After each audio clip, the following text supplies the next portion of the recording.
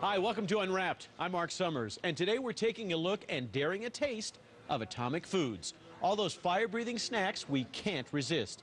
And a lot of the hot stuff out there is made from these. They're chili peppers. In fact, there are over 150 varieties of chili peppers grown today in the U.S. alone. And one place is keeping track and testing them all. So get a glass of water because it's time for a visit to the Chili Pepper Institute. Really, watch. There's the early jalapeno, the habanero, and the NuMex pinata, all part of the chili pepper family. And while they're made to be eaten, a group of researchers in Las Cruces, New Mexico is studying them as well. Chili Pepper Institute. This is Danise.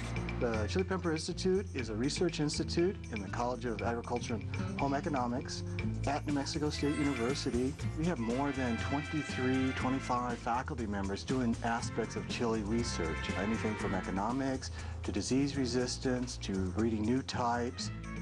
Since 1991, researchers have poked and prodded everything from jalapenos to habaneros, and today they have grown more than 150 varieties of chilies to help them learn more about peppers and their continuing evolution. This particular habanero is something that happened in nature, um, kind of on its own, and uh, we thought it was really cool. It looks like a regular habanero. It smells like a regular habanero. It just doesn't have that, that punch of heat.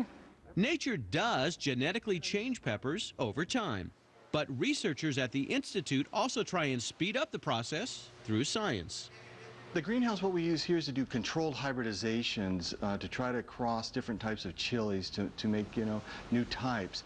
What we're doing is we, we pick two plants that have desirable traits and we pick a mother plant and a father plant. The mother plant is the one that gets the pollen. The father plant is the plant that takes the pollen. And the trick to spreading that pollen comes from Mother Nature itself. We go to the flower and try to get some of that pollen off of the anthers there onto the bee. And then you go to your what is going to be your mother plant and you pollinate your stigma with the pollen from the other flower. The scientists also work to include completely different vegetables into the hybridization process with some interesting results. What we have here is a, a chili grafted onto the tomato rootstock because the tomato has disease resistance that the chili doesn't. And so now we have the root resistances from the tomato and then the chili fruits up on top. Humans aren't the only species that have helped the chili pepper evolve.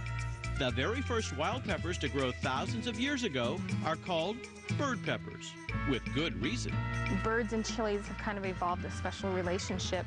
Birds do not have the receptors to feel pungency, so they can eat lots and lots of these little guys. The other really interesting thing is birds' digestive system don't harm the seeds at all, so they can pass the seeds, disperse them, and they'll grow into new plants in the wild.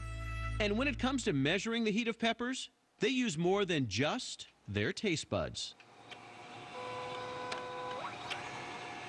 When we do the um, uh, HPLC or the high performance liquid chromatography, we, we concentrate it down. We do an extraction out of the, the chili powder. So it is a very concentrated uh, uh, compound. The results help determine a measurement known in the hot food world as the Scoville unit for the chili. So if you have something with 100,000 Scoville heat units, it means that if you dilute it 100,000 to 1, you won't taste any heat. And while the researchers at the Chili Pepper Institute may be experts on chilies, it doesn't automatically mean they're heat seekers. I was born and raised on New Mexican chilies, so I'm not a real big fan of the flavor of habaneros. It's definitely the kind of heat that knocks your socks off. Just try one, we dare you.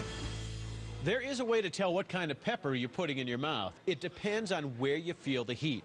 Jalapenos get you in the front, while habaneros hit you in the back of the mouth and throat.